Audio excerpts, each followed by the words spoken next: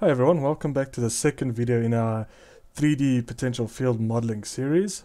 Uh, we Once again, we'll be using the UBC Mag 3D and Grav 3D. Today's video I'll be focusing mainly on magnetics. If you haven't as of yet watched the previous video that deals with setting up your observation files, please do so before continuing with this video. Also before we start, make sure that you have all your executable files in one folder that we'll be using for today, as well as just create a secondary uh, folder that you can call inversion or something like that that you can actually um, find after the inversion models have completed. The algorithm produces a lot of files, so to prevent it messing up your your executable folder, uh, I suggest creating another folder. Okay, so the first thing we need to do is open our mesh tool. Yeah, we need to create the mesh that we'll be using in our inversion um, process today. So we open it up here. Uh, it's just the hardware. Just press cancel for now because we don't have any mesh or models. Okay, so once you're on this screen, we just click on File and then Create Mesh. Okay, so the, what it needs is your your top southwest corner. So by top it means at zero elevation, so your surface, and then southwest corner. So if we look here, just as an example of this magnetic data, it would be this corner here is our top southwest corner. So you have to make sure that your mesh is large enough that it covers the actual observation observational data. Okay, so once you you know the limits of your data, you can then put in your uh, southwest corner into X your Y. This is just Z, so if you have topography data, uh, you can put your elevations in this in this cell, yeah? Uh, the, this is cell width, so for inversion, um, for inversion models, you can set up the, the widths of each cell within your mesh. This, this plays a large role in how fast your inversion will run the larger your cells, the quicker to run, but the coarser your model will be. But the smaller the cells, the slower the model will run, and obviously the finer your model will be. This is just the x and y lengths of your your mesh. So the the basically the this length, the x length here, and the y length here. So you want to make sure that you have enough length again to cover cover the whole observation survey area. So for me, I'm just going to leave it as 20 for now. Uh, I'll just do 50, 50 just because for the sake of the video, and a thousand, thousand.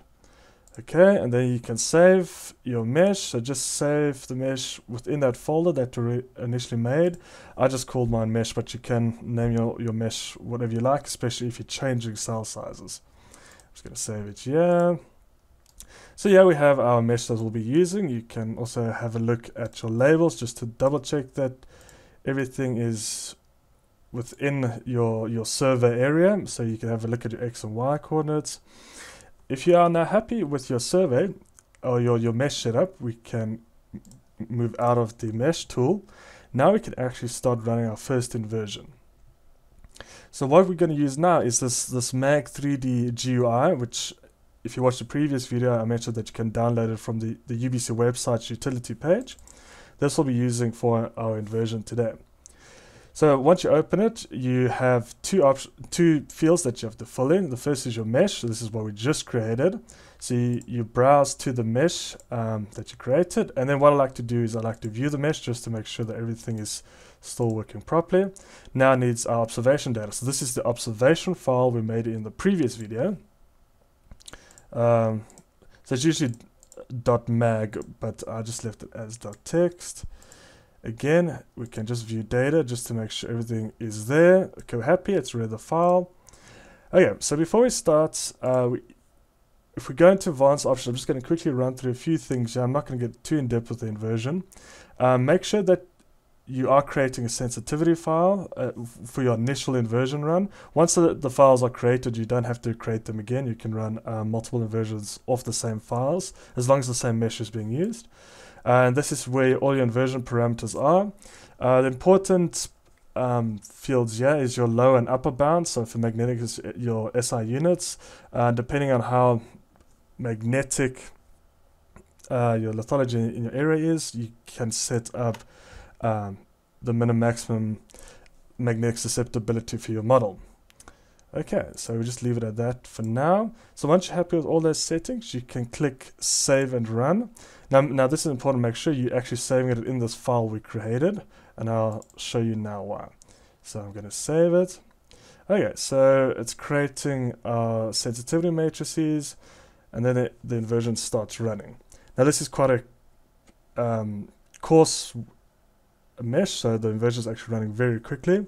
Um, so just to show you as we're running some cool features with the UBC programming, we can actually look at how the inversion is is moving along. For example, yeah, this is our ob observation data, and this is the predicted, so the calculated data from your model for the first iteration. And if we move on to, say, the 15th iteration, we can see that it's starting to calculate something similar to observation data. So you can play around and, and you can also look at the differences uh, between your data, your observed data and your calculated data. Okay, for the sake of this video, I'm just going to stop the inversion here. Um, just for information, this is, you can look at your weighting um, parameters with this weighting button, your sensitivity parameters, and then this I gives you all your inversion details for each iteration, what the, the target misfit is for your inversion, and then how the iterations have uh, moved along throughout the procedure. Okay, so so once you're done with that, you can close once the inversion is completed, or say the inversion is completed, and then just to show you, this is what I mean. It creates a lot of files. Um, these are your your uh, calculated observations, and this is the susceptibilities of your model. There's also a sensitivity file that you can load into your um, your mesh tool if you want to look at the sensitivity of the model. So now let's, for the sake of the video, I'm just going to load in inversion that I, I did earlier today. So again, we we have a mesh. So you're going to use the mesh that you created for your inversion. Uh, for for the one I used was a five meter mesh, and then the model is then in your inversion file you then choose the susceptibility for the iteration you want to look at. So 21. Now you can open your model. Okay, so this now it's opened an inversion model. Just to show you, um, if you add padding cells uh, or, or cells that are, are out of the range of your data, you can actually see them if you look at your min-max. So min-max just changes the minimum maximum um, uh, susceptibility shown for the model. So for example, if I do just 0, 1, something crazy, you can see, yeah, sort of the server area and the, the rest is padding cells. Uh, okay, so just want to change this back. Okay, and then, uh, so you can actually see that we don't, don't need all these cells. We don't have any sensitivity at the bottom here. So you can press B up here or on your keyboard and you can start um, cutting the bottom of the the model off and then as you can see you have W stands for west. So if you can move west and then you just scroll with your mouse wheel.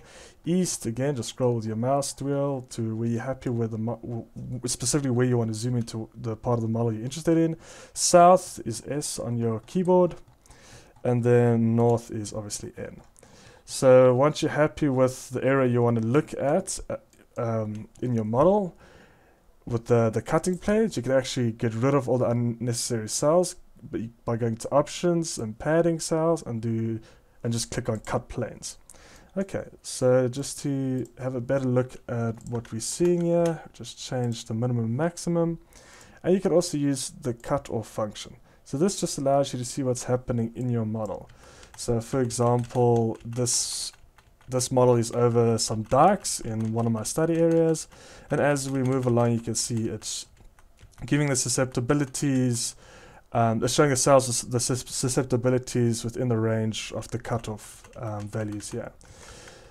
And yeah, so this is our first inversion. Um, you can obviously play around, do finer meshes. This cell, this model had a, a cell mesh, a cell width of 5 meters, so 5 by 5.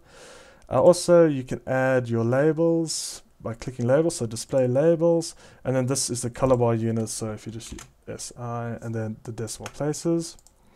And yes, so this is our first inversion. It's pretty simple and this is just the basics, but this is just to get you started. Thank you for watching this video and I hope you enjoyed it.